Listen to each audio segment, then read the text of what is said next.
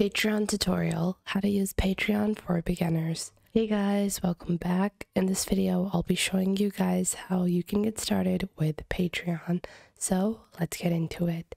Now, Patreon is a tool that enables you to make sure that you have brandable content that you can get with a payment. You can build gifts or rewards for your viewers or for subscriptions. You can create certain content that is paid for only, and Patreon can help you in doing all of that in a safe and secure manner. Plus, you can support some of your best and favorite content creators or your favorite brand ambassadors, celebrities, and more. So let's get into Patreon. Now, to get started with Patreon, simply head on over to patreon.com. Once you head on over to patreon.com, all you have to do is click on Get Started on the top right. Now, the best part about Patreon is that it is available for free. So you don't have to pay anyone to get started. There are no sign up fees, registration fees, you have all the tools that can help you in just getting started and you can publish your content your podcasts your videos you can post courses as well as get more personalization options and all of that is for free so to get started with signing up, you can sign up with Google, Apple, Facebook, or just your email address. Just enter that over here, and we can just continue with our Google account like so. So once we create our account, this is going to be your dashboard over here. So this is just a sample account I've created. If you're starting off, all you have to do is input a username, how you want to, you know, be known. That is usually the name that you are using. So if I sign up with a new account, you know, you have to enter your business name or the name that you are primarily using. So to get started, you will see on your top left, you have a toolbar and in this toolbar you have your my page. So this is what the subscribers or people that are searching for my particular name will see. You guys will see on the right you have a create option where you can create content for patreon. Then on the right you also have a share button where you can share your patreon link as well as some other tools that can help you in viewing your page. So to get started we are going to add maybe a photo usually this is going to be like your most popular photo you know? If you're a youtuber then it's going to be your display picture. Then you have your name. So let's say our name is Durden that's our channel name just as an example. And then let's say we have um how to live a bit simply like this and then you have your Patreon. So this is going to be our Patreon link. And then below that, we have our homepage, then our collections page. So you can categorize your content in a certain series or category. So let's say you have certain content that is all about uh, recipes. So you can categorize that, and certain content is all about repairing your car. So you can build different collections and categories. Next up, you have membership. So Patreon enables you to create different types of membership. So I can click on more options over here.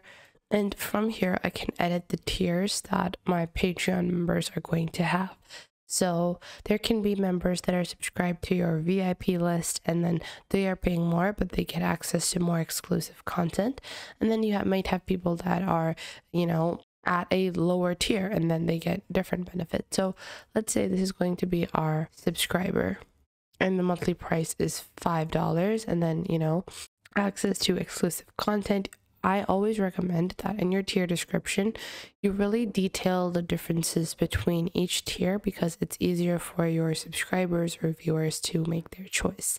So, if you have exclusive content and behind the scenes from our YouTube videos like this, so I can insert that over here and once I do that, I can also add a cover image like this. So let's say we have this as our cover image. I'll use this over here.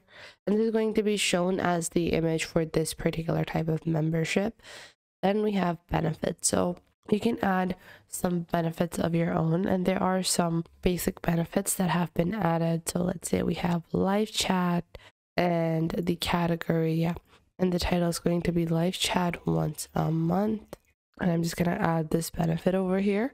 And then you can also choose to create a free trial. So allow members to try a particular tier before charging them. Now, I don't want to enable a free trial, so I'm just going to proceed. And then you have your advanced settings, which includes shipping addresses. So if your Patreon subscription includes like a gift box or a subscription box, then you would need shipping addresses. So you need to enable that. And you can limit the number of members that can join as well. So this can make a membership super exclusive. Let's say I have my highest paid membership and that is only accessible to 50 people. So that creates exclusivity and usually that does generate a bit more buzz. But for general subscription based tiers, I recommend not setting a limit. So I'm going to click on save over here. And once I click on save, our Patreon tier has been saved. Now, this is just a simple tier.